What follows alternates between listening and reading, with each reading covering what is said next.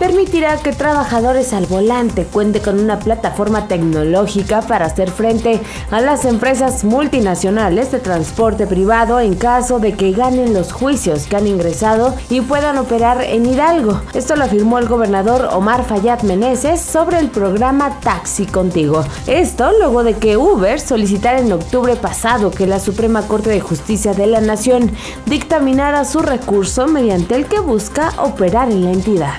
Noticieros Teleurban.